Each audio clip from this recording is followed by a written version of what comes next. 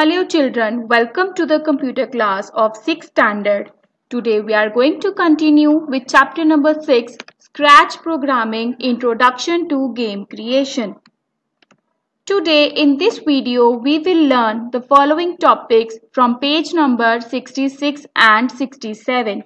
We will learn different types of blocks in Scratch, how to change the backdrop of the stage Let's discuss few key terms that we will learn from page number 66 and 67.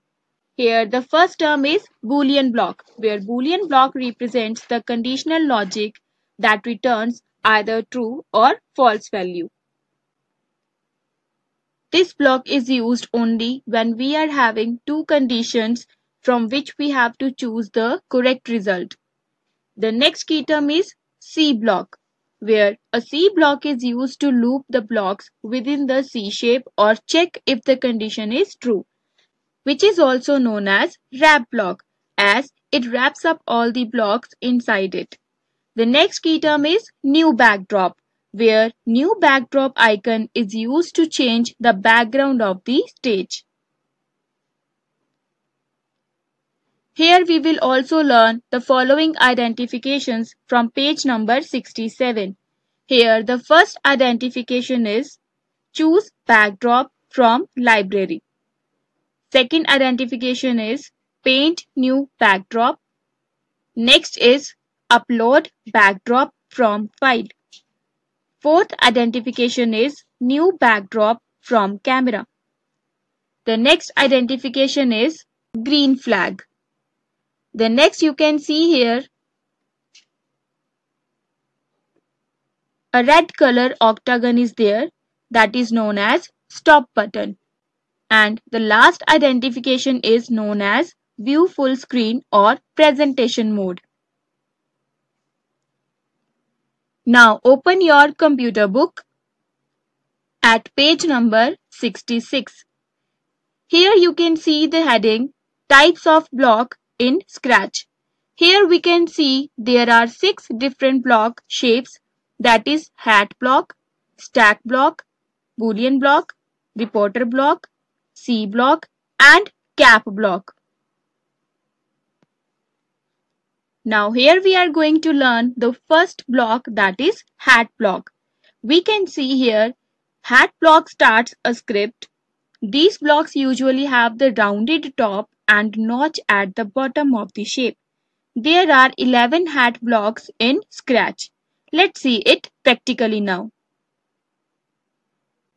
Now, first of all, open Scratch by clicking on Start button. From Start sub menu, click on Scratch 2. After clicking on Scratch 2, you will see Scratch 2 window will appear on your screen. Now here you can see the first block that is hat block. In event block, you will see there are number of hat blocks. You can see here in bigger size, the first block is when clicked. That is hat block.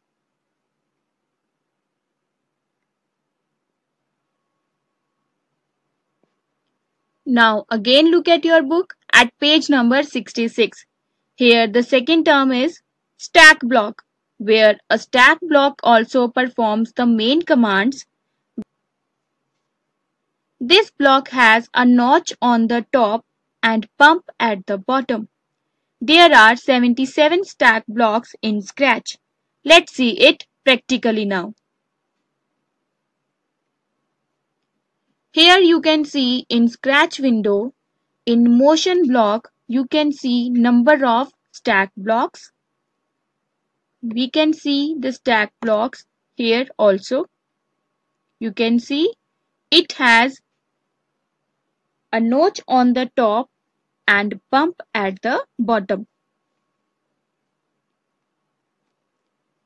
Now look at your book at page number 67. Here you can see the first topic is Boolean block where I have already explained the term Boolean block. Boolean blocks have hexagon shape. There are 13 blocks of Boolean blocks. Let's see it practically now. Now again look at your scratch window. Here you can see in blocks palette in operators block you can see there are number of boolean blocks. You can see this boolean block here also. It has a hexagonal shape. Now again look at your book at page number 67 there the next term is reporter block where reporter blocks can hold any value which can be number or a string. That means any word. These blocks have rounded edges and they are 37 blocks in Scratch. Let's see it practically now. Now here you can see in the operator blocks they are having rounded edges and contain any word or number in it. Now again look at your book at page number 67. Here the next block is C block where I have already explained the term C block. There are 5 C blocks in Scratch and they are present in control category. Let's see it practically. Now again open your Scratch. Here you can see in the control block all these blocks are of C-shaped. Now select any block and you can see it has a C shape. Now again look at your book at page number 67. Here you can see the next block is cap block where the cap block ends the script and they are having notch at the top and flat from bottom. There are two cap blocks in Scratch and they can be found in control category. Let's see it practically now.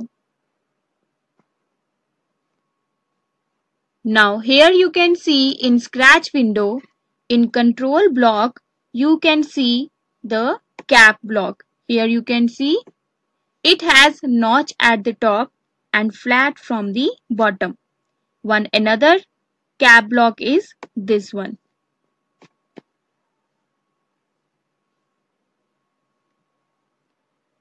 Now again look at your book at page number 67.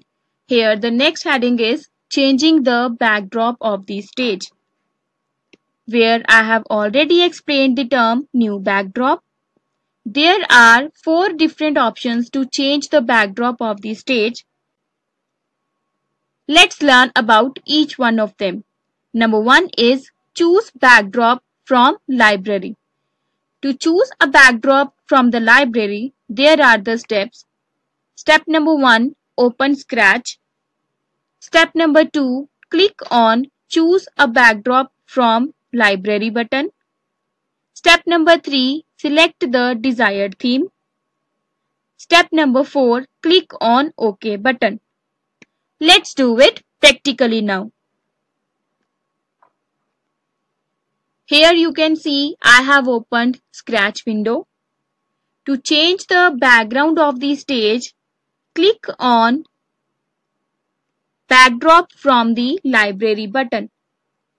After clicking on this choose backdrop from library button, you will get backdrop library dialog box on your screen. From here you can see two options category and theme. Now select any background from here that you want to apply on your stage. For example, I have selected this. Now click on OK button. Now here you can see the change on your Scratch window. Now backdrop has been applied on the background of the stage.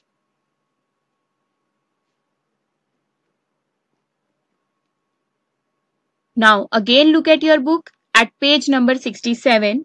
Here the second option is paint new backdrop where this option is used to create a new backdrop window according to your requirement using Paint tool. Let's do it practically now. Now again, here you can see your scratch window. First of all, clear this previous backdrop by clicking on this clear button. Now here you can see your backdrop is again a white blank area. If you want to color it using paint tool, then click on this paint new backdrop button. Now move to your backdrop area. First of all, select the fill with color option. Now you can choose any option from here. If you want to fill full color, then you have to select the full color option. Then click on any color of your choice and click on stage. Now here you can see you can paint a new background according to your choice. Now, if you want to draw any other shape on your background, you can also do that. First of all, select any other color. Now click on rectangle tool or ellipse tool. For example, I have selected rectangle tool. Now move to the background area and draw the shape that you want to draw. Now here you can see the background you have applied on your stage.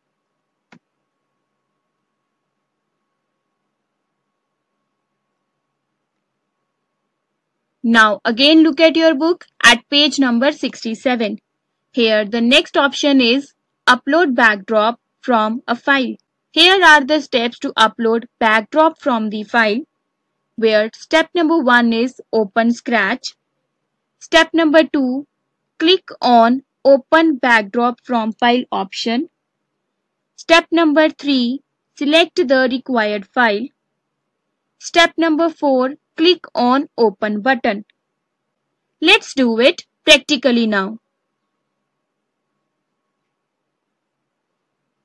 Now here you can see from your scratch window to apply the backdrop from the file click on this upload backdrop from file button and you will get select files to upload window on your screen. Now select any file and click on open button. Now here you can see the background has been applied on your stage.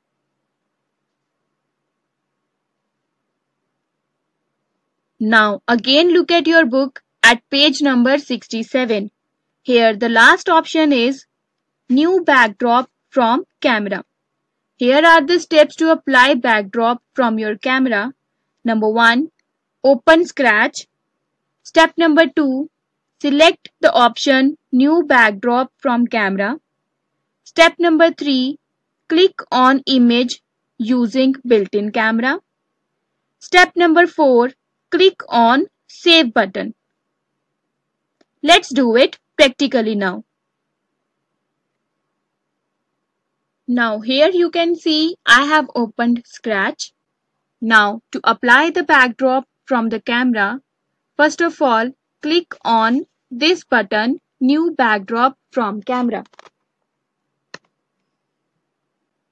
Now you can see in front of the camera of your laptop or computer the image that will appear it will show you in the camera screen of your scratch window.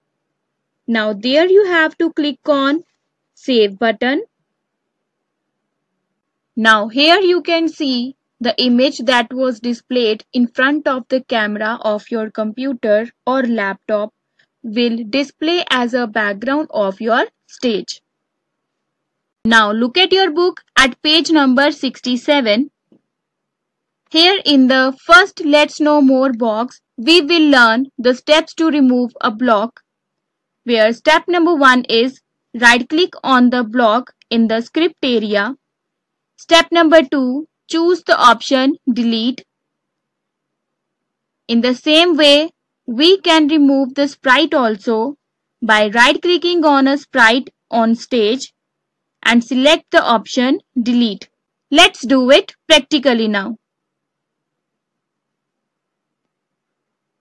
Now here you can see on your scratch window from the script area to remove these blocks right click on it and select the option delete. Here you can see the blocks have been deleted from your script area. In the same way, we can delete the sprite also. Select the sprite that you want to delete. Right click on it and select the option delete. Here you can see the sprite also has been deleted from your stage. Now again look at your book at page number 67. Here you will see know the fact box is given where we will learn when clicked block is under event block category. It is used to start the script and the flag button is located at the top right corner just above the stage. We can run the project by clicking on this green flag button as we have done practically. Now look at the last let's know more box from page number 67. Here we will learn we can repeat the actions of the sprite as many times as needed. To do so, we can use the blocks from control block that is repeat or forever.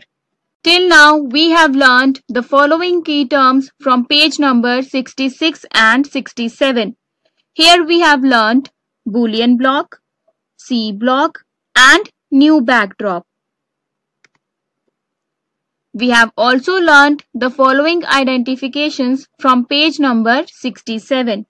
We have learned choose backdrop from library button, paint new backdrop button, upload backdrop from file button, new backdrop from camera button, green flag, stop button and view full screen or presentation mode.